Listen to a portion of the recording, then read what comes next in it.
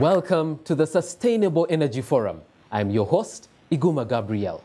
On the program today, we talk about death in the kitchen. The dangers of using the three stone fireplace are far reaching deforestation, environmental degradation, indoor air pollution, and the list goes on.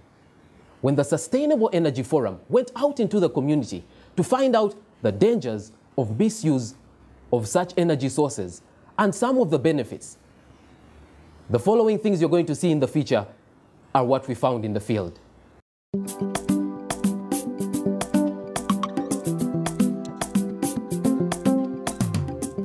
Wood fuels are largely used for cooking in rural areas, while charcoal provides for the cooking needs of the urban population. Due to this heavy dependence on biomass, 30% of rural areas register a rapid depletion and overuse of forests, leading to a severe lack of biomass for daily cooking needs. Firewood scarcity is a grave constraint in rural Uganda. The traditional use of firewood is responsible for high indoor air pollution levels, thus causing respiratory diseases that affect women and children in particular.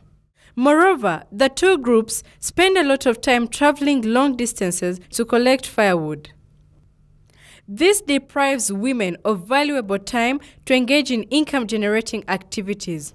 Children also end up with no time to go to school and study. nnyo mu buzibu bw'enku ku kitundu tetulina kibira tubadde nga tugenda mu kalitunsi mwe tunoonya enku ng'ate bannanyini kalitunsi tebabakkiriza naye ng'enku zigenda nnyo. Against a background of high deforestation rates and firewood scarcity in Uganda, different individuals and NGOs have partnered to promote the use of more efficient cook stoves in homes and institutions.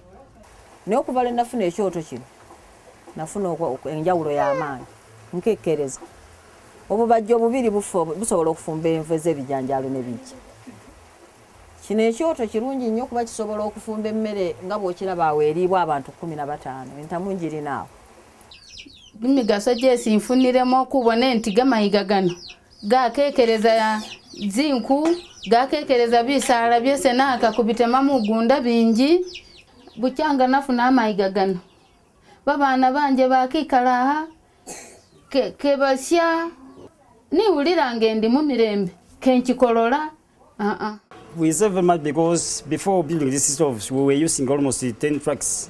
But uh, now we're using only four trucks. Hmm? Now there's a very big difference. With all the benefits associated with these cook stoves, why do we have few people still using them?